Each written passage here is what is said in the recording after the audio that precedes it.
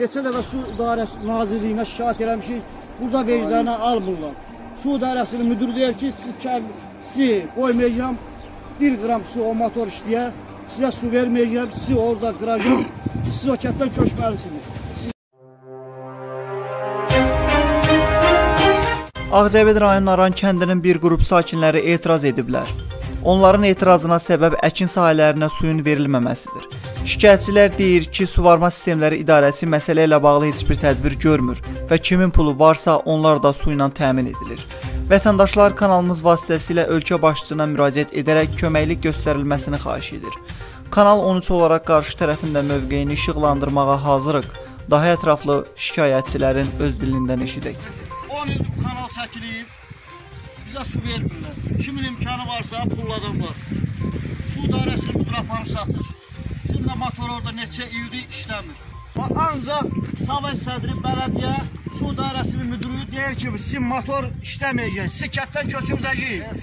İmkan vermirlər. Nazirliyə zəng gəlir, nazirlik neçə dəfələrlə deyib bir dənə nümayəndə, nə bələdiyyə, nə Sovet sədri gəlib bizdən maraqlanmayır. Sizdən xahiş edib bizim sıramızı göstərin. 4 il can qoyub, 2 dənə oğlu var, əskəriyə gedəcək, imkanı yoxdur onları saxlatmağa. Mən özüm Qarabağ müharib, 1-ci Qarabağ müharibə veteranı Rəhimov Nadir.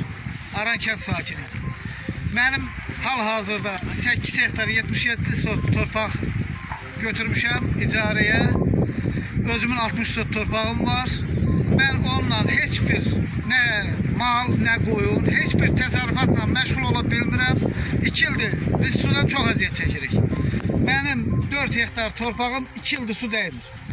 O aşağıdakı iki nasosa aid olan 2 hektar yerimə mən heç nə əkə bilmirəm. Cənab Prezidentimiz bizə hər cürə şərait yaradıb.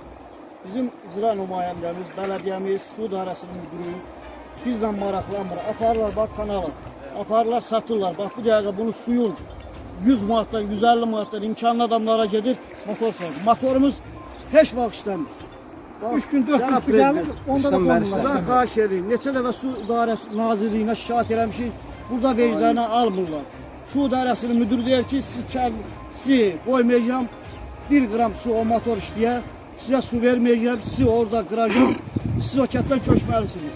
Sizdən xahiş edirik bizə idarəmizə yox, bizim kəndimizə nümayəndə göndərib bizim cəmaatla əlaqə saxlayın. Su idarəsinin müdürünə yanına dedim ki, 2 hektar pambıq əhməliyəm, dedim pambıq əhməsə su verməyəcəm.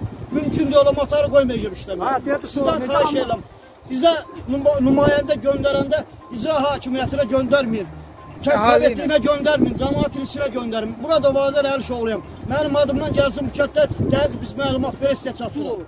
yuxarıki kanaldan, Mil Muğan kanalıdır. Oradan su gəlir, onu da yəliklənirlər.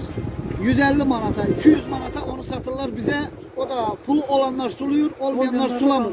Mənim heç cür imkanım yoxdur. Becərməyə pambığı mən yonca əkirəm, qoyun mal saxlayıram, onunla da dolana bilmirəm.